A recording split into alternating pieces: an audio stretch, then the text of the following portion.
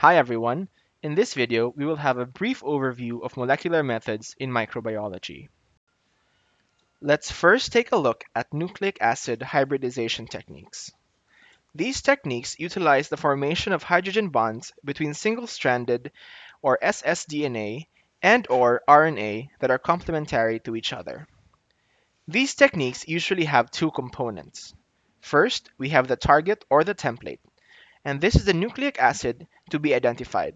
And this can come from a variety of sources. For example, this can come directly from a patient sample, or this can come from a secondary culture. Then we have the probe. These are labeled nucleic acids that bind to a specific target sequence. The probe detects a sequence specific to a certain microorganism or virus, and usually the label of the probe is detectable visually or using a machine. The probe is able to attach to the target and vice versa because of complementary oligonucleotide pairs. In DNA, there are two such pairs. First, cytosine and guanine, abbreviated by C and G, and adenine and thymine, abbreviated by A and T. In RNA, thymine is replaced by uracil. So now we have adenine and uracil, abbreviated by A and U. And here we have a few examples. You can see the complementary oligonucleotide pairs. So DNA can pair with another DNA strand. DNA can also pair with RNA, and of course, RNA can also pair with another RNA strand. There are a variety of hybridization formats that we can use. First, we have the solid support hybridization.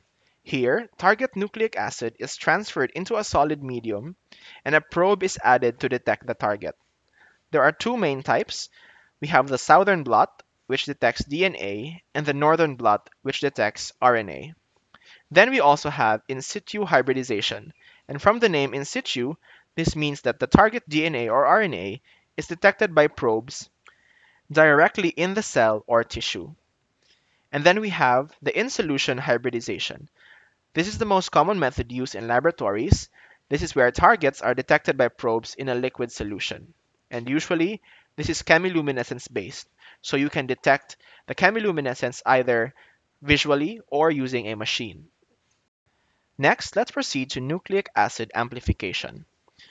The most common technique used to amplify our nucleic acid is the polymerase chain reaction, or PCR. This is an in vitro technique that stimulates the in vivo DNA synthesis. And using this technique, we can detect very small amounts of DNA from bacteria by amplifying them, making them easier to detect. So there are three steps in PCR. First, we have denaturation, in which double-stranded DNA is separated into two strands. Next, we have annealing, in which primers attach to target DNA sequences. The attachment of the primer to the DNA template is an example of hybridization. These primers are so specific that they can identify bacteria up to the species and subspecies level and can even identify certain phenotypic characteristics like antibiotic resistance. The last step in PCR is extension, in which DNA polymerase synthesizes new DNA by extending the primer. And using these three steps, we can amplify our target DNA Let's now take a look at the components of our PCR. First, you have your template DNA, which serves as the target for our PCR. This is the sequence, or the portion of the DNA that we wish to amplify. Next, we have our oligonucleotide primers, and these are used to start the synthesis of new DNA strands. After, we have the thermostable DNA polymerase, this is the protein responsible for synthesizing the new strands of DNA. Then we have magnesium, which is required by DNA polymerase to function. We also have our buffer, which ensures the proper conditions and pH for the DNA polymerase. And of course, we have our deoxynucleotides, which are used by the DNA polymerase to synthesize new DNA strands. In other words, these are the building blocks of our DNA. Finally, we have our thermal cycler. This is the instrument that rapidly heats and cools the PCR cycle steps. Speaking of the cycle steps, we have again the three cycle steps which occur at varying temperatures. Our denaturation occurs at temperatures above 90 degrees Celsius, but usually we use the temperatures from 94 to 95 degrees Celsius. Then you have your annealing temperature, which can range from 45 degrees to 65 degrees Celsius. And usually, the temperature for annealing is optimized based on the primer sequence and lab protocols. Finally, we have our extension step, which can occur from 68 degrees to 72 degrees Celsius. Once we have finished our PCR reaction, we are left with our PCR products or our PCR amplicons. However, because our amplicons or our DNA are too small to be seen by the naked eye, we need a way to detect them. The first method is through agarose gel electrophoresis, or AGE. In this method, the PCR amplicons are loaded into a horizontal agarose gel, and on the slide we have an example of such gel. So the PCR amplicons are loaded on the top part of the gel called the wells. Then, an electric current is passed through the gel, and because of this, negatively charged DNA will migrate from the cathode, which can be found on the top of the gel, to the anode, which is on the bottom part. As the DNA moves across the gel, they are separated by size. So larger fragments will be retained in the top of the gel, while the lower fragments will be retained in the bottom part. However, our DNA is still not visible to us, so we first have to stain them. So stains are usually already added into the gel. These stains form cross-linkages or bind themselves to our DNA. And when our gels are placed under UV light, we are able to visualize our DNA that have stains attached to them. So this is a semi-quantitative way of detecting our DNA because we cannot know the true concentration of our DNA, but we are able to tell or sort of tell how much DNA is in each uh, band. So bands that are thicker will mean that there is more DNA there, and bands that are smaller means that there is less DNA. Next, we have real-time PCR, otherwise known as qPCR or quantitative PCR. This uses fluorescent conjugated probes, which have a fluorescent dye and a quencher. A quencher is a substance that prevents the dye from fluorescing. The fluorescent dye is activated as the probe is fragmented during the extension phase. So here you can see in the figure that the probe attaches to the target DNA sequence after the primer or ahead of the primer. And as the DNA polymerase synthesizes new DNA strands, it reaches this probe.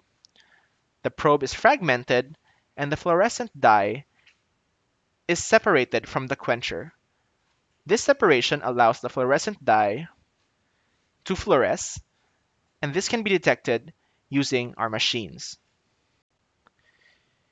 In real-time PCR, fluorescence is directly proportional with the number of DNA copies synthesized.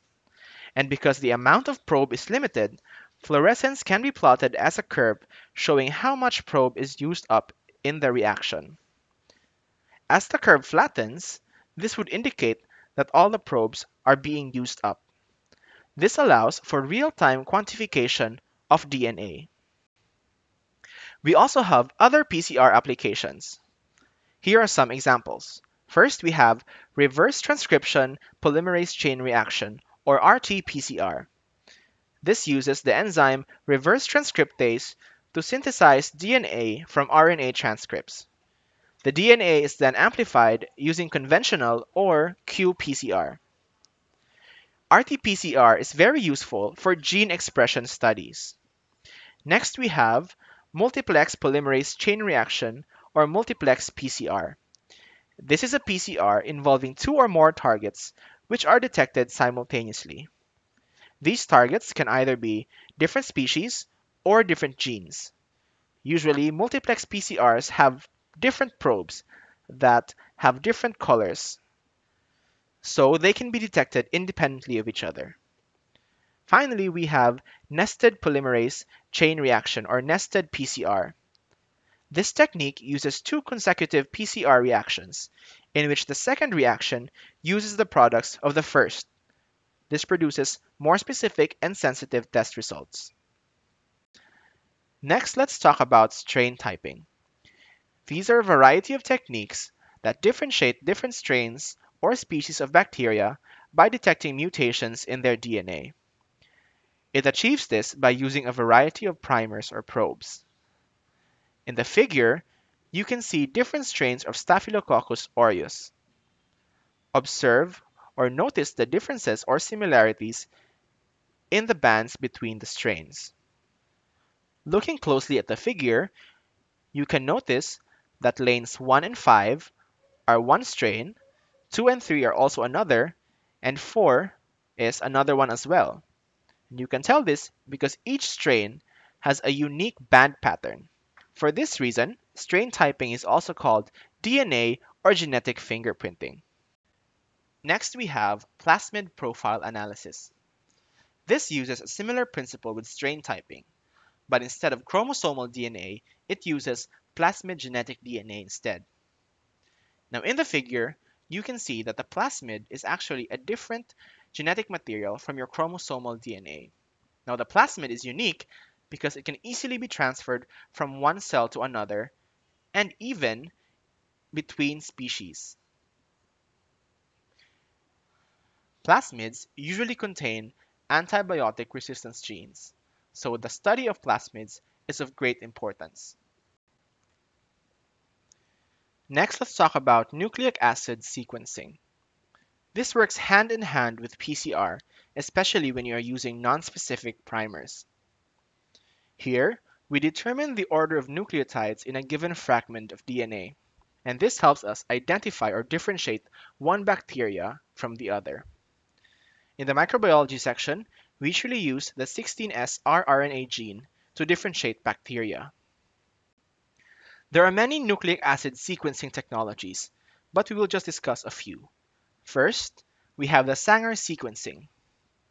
This uses DNTPs in very high concentrations, as well as dideoxynucleotide nucleotides or DDNTPs, and these are chain terminating nucleotides, which means that when these attach to the DNA fragment, the DNA polymerase can no longer add another nucleotide. So DDNTPs are conjugated with fluorescent dyes and appear in low concentrations. So how does Sanger sequencing work? First, DNA fragments of varying lengths are created. Again, this is because whenever a DDNTP attaches to the end of a DNA fragment, it terminates it. Next, the fragments are separated according to size. In the figure, you can see that this is done through capillary gel electrophoresis. Next, a laser or a fluorimeter detects the fluorescence in each segment and converts this into a chromatogram. In the chromatogram, whichever fluorescent dye has been detected by the laser produces a peak, and this corresponds to the terminal nucleotide. We also have other more recent nucleic acid sequencing technologies. However, you should note that Sanger sequencing is still being widely used today. The first one is pyrosequencing. This is a rapid technique used to sequence shorter lengths of DNA. In this technique, template DNA to be sequenced is immobilized in a well. Now there can be hundreds to thousands of wells, each containing their own template DNA.